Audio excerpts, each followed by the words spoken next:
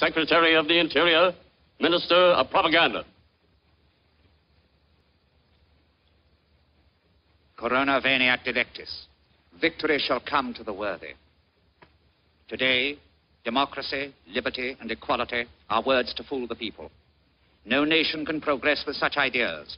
They stand in the way of action. Therefore, we frankly abolish them. In the future, each man will serve the interest of the state with absolute obedience. Let him who refuses beware. The rights of citizenship will be taken away from all Jews and other non-Aryans. They are inferior and therefore enemies of the state. It is the duty of all true Aryans to hate and despise them.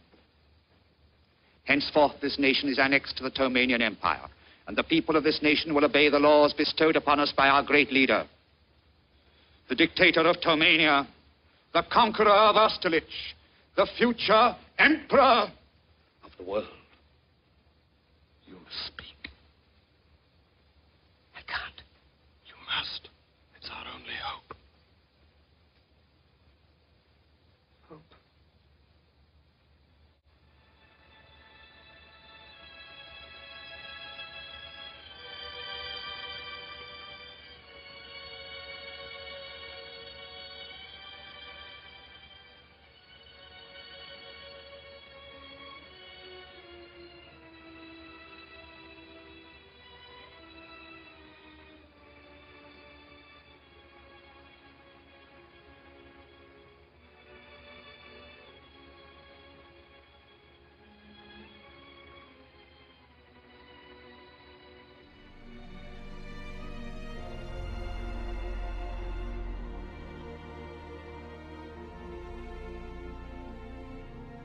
I'm sorry.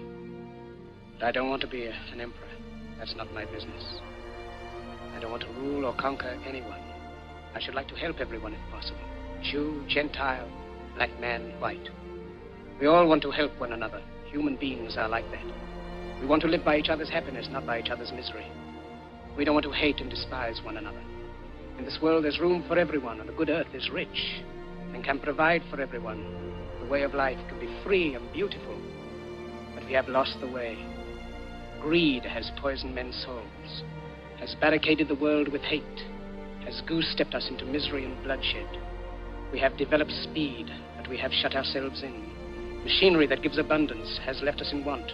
Our knowledge has made us cynical, our cleverness hard and unkind. We think too much and feel too little. More than machinery, we need humanity.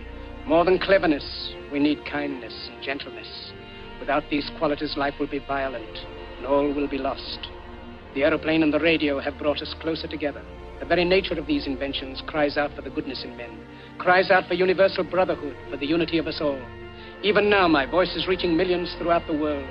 Millions of despairing men, women, and little children, victims of a system that makes men torture and imprison innocent people. To those who can hear me, I say, do not despair. The misery that is now upon us is but the passing of greed, the bitterness of men who fear the way of human progress. The hate of men will pass, and dictators die, and the power they took from the people will return to the people. And so long as men die, liberty will never perish. Soldiers, don't give yourselves to brutes. Men who despise you, and enslave you, who regiment your lives, tell you what to do, what to think, and what to feel, who drill you, diet you, treat you like cattle, use you as cannon fodder. Don't give yourselves to these unnatural men, machine men with machine minds and machine hearts. You are not machines. You are not cattle. You are men. You have the love of humanity in your hearts. You don't hate, only the unloved hate, the unloved and the unnatural. Soldiers, don't fight for slavery, fight for liberty.